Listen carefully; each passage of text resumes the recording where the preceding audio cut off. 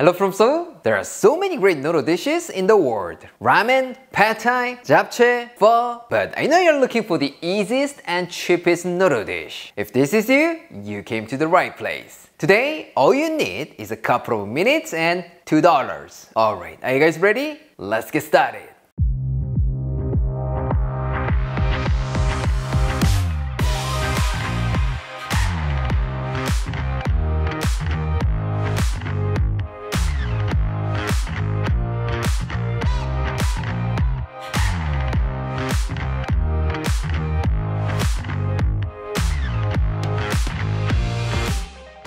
Today, we're making chow mein. Well, I know you're probably thinking like, Aaron, it looked super delicious on YouTube, but it was so greasy and flavorless. Yeah, I totally agree with that. I blame you, Panda. But as always, with me, it's gonna be fantastic. For this, you will need chicken, onion, cabbage, carrot, green onion, bell pepper, garlic, and noodles. Actually, for chow mein, you can use any veggies or protein, so if you don't like something here, you can leave it out or you can replace it with what you like. No problem at all. Alright, let's start with vegetables. First, slice half an onion. Not too thin, not too thick. If they're too thick, they're likely to be undercooked, which means nobody wants to give you a kiss, even your fur baby. True story. Next, slice 130 grams of cabbage, nice and thin so that you feel like you're eating another type of noodles. Trust me, if you cut it into thin strips like this, the noodles and cabbage, that will go so well together. Now get yourself 60 grams of carrot and cut it into thin matchsticks. If you could use julienne peeler, that would be amazing. If not,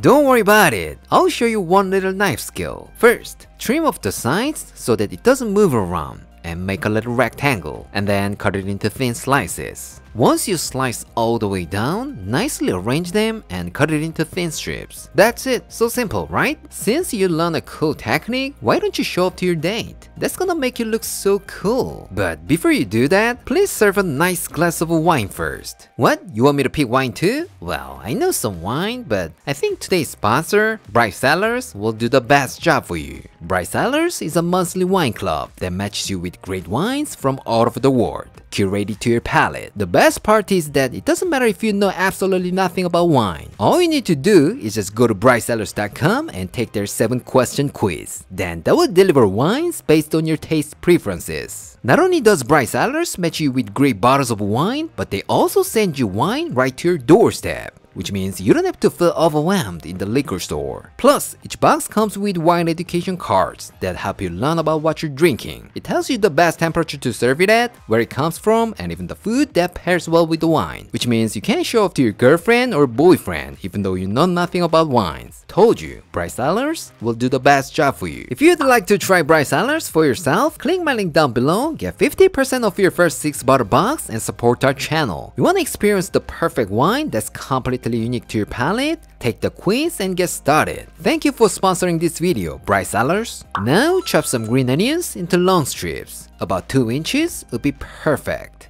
It not only makes your dish so fragrant, but it also makes your food look fancy. So as always, please be super generous with this. This time, bell pepper. Cut off the top and the bottom and take out the seeds. And then just like the carrot, slice it up into long strips. Yes, as you might guess, we're basically trying to cut all the veggies about the same size. And that is how you get the most beautiful and delicious chow mein. Lastly, smash 3 cloves of garlic and finely chop it. It's nothing special, but if you smash it like this, they're gonna release an amazing aroma, so it'll be a lot more fragrant. Now, let's move on to the chicken thighs. If you're cooking for someone hungry, check their mood first and decide whether you remove the skin or not. Trust me, this little detail will save your life from predators. And then slice it into nice bite-sized pieces. Once you're done that, put them in a mixing bowl. And add 1 teaspoon of soy sauce, a pinch of sugar, half of the egg white, 1.5 tablespoons of cornstarch, and give it a good massage until they're so relaxed. Now, all you need to do is just give them some privacy. That's it. In the meantime, let's talk about the noodles. Normally, chow mein is made with Cantonese style egg noodles. What? You can't get this one? Don't worry about it. Just use any kind of noodles. Even spaghetti noodles work really well. I'm serious. Once the water starts boil, cook your noodles according to the package instructions. When the noodles are cooked through, remove from the pot and rinse them under cold water so they stop cooking. And then make sure to get rid of as much moisture as possible. This is so important, so I'm gonna let them dry on a piece of paper towels for a while. If you're too lazy and skip this step, you might end up with some soupy chow mein that nobody wants. I told you already, so if that happens, I'm not responsible. Lastly, let's make the sauce. In a small container, add 2.5 tablespoons of soy sauce, half a tablespoon of dark soy sauce, 2 tablespoons of oyster sauce, 1.5 tablespoons of Shaoxing wine, 1 teaspoon of sugar, a quarter teaspoon of white pepper, and give that a good mix.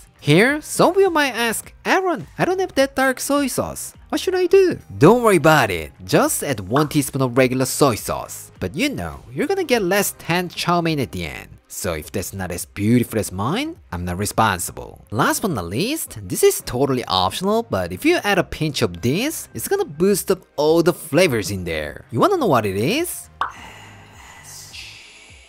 But it's your choice. Alright, we're set. Let's get cooking. When cooking Chinese food at home, you don't have to use that enormous heavy wok that you might have seen at Chinese restaurants. You can just use normal non-stick pan or the one you use every day because we don't have that big big fire at home. So there's no big taste difference. So just use what you have. That's the best. Alright, add 3 tablespoons of oil to a wok and heat it over high heat. Once the wok gets nice and hot, add in your chicken and let it cook for about 2 to 3 minutes or until nicely browned. And when the chicken is cooked through, remove it from the wok and set it aside. After that, into the same wok, add in your garlic, onions, and stir them around for about 30 seconds. Once you can smell the amazing aroma, increase the heat to high, throw in some cabbage, bell peppers, carrots, green onions, and stir fry for another minute or two. Here, we're not gonna cook until they're completely wilted down. We still want some nice crunchy, and that's the key. Again, once the veggies are nicely cooked, remove from the wok and set them aside. Now place the same wok over medium-high heat.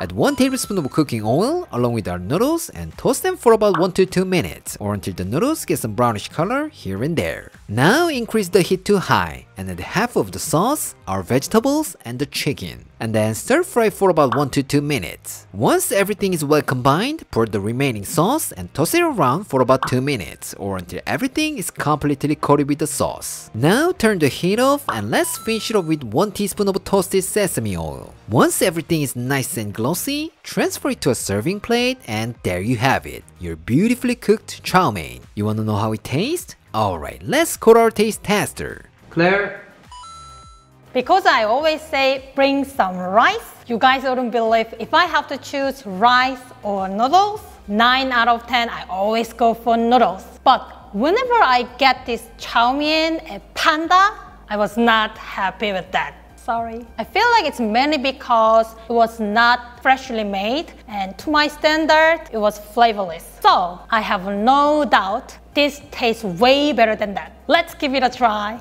오, 벌써 냄새부터가 뭔가 달라. 오, 윤기. 윤기 나는 거 봐. 후, 잔뜩 들어서. 더 가져가. Ready?